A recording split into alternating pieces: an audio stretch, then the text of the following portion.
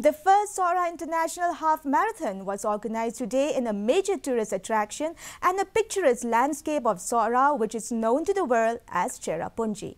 The athletes started the marathon in the morning chill from Mawkdok village and cruised the course along the valleys of the lavish green Khasi Hills. The event saw huge participation and competitiveness from across the globe. Meanwhile, Adisu Abebe from Kenya took the first place in the elite men category and Richa Bahaduria from Uttar Pradesh won the elite women category. Secretary Sports Vijay Kumar also took part in the marathon. जी ये मेरी first time marathon थी में आके आपको कैसा लगा बहुत अच्छा लगा रूट भी बहुत अच्छा था और इधर का फैसिलिटी भी बहुत अच्छा था